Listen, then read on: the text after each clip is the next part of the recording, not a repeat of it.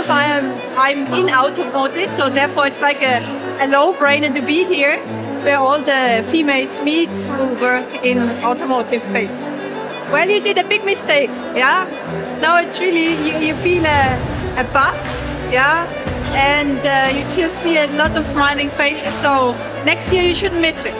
Just to be here, yeah? Really, just uh, to walk in to see so many females and the queue at the bathroom.